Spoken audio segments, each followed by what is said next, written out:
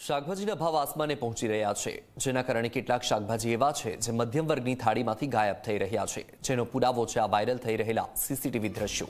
જે વાપીની વાઇબ્રન્ટ શાકભાજી માર્કેટના છે, જ્યાંથી એક વ્યક્તિ કાંદા અને આદુની બોરી લઈને જતો દેખાઈ રહ્યો છે. તમે જોઈ શકો છો કે કેવી રીતે એક વ્યક્તિ માર્કેટમાં જોવા મળે છે અને તેના ખભા પર બોરી છે. આ બોરીમાં આદુ અને ડુંગળી હોવાનો દાવો થયો છે. વીડિયો સોશિયલ મીડિયામાં વાયરલ થયો છે. જેને જોતા તો લાગી રહ્યું છે કે આ વ્યક્તિ પાણીપુરી કે ચાટનો વેપારી હોઈ શકે અને તે મોંઘવારીથી પરેશાન હશે. એટલે આવી રીતે શાકભાજી લઈને જવા માટે મજબૂર થયો હશે.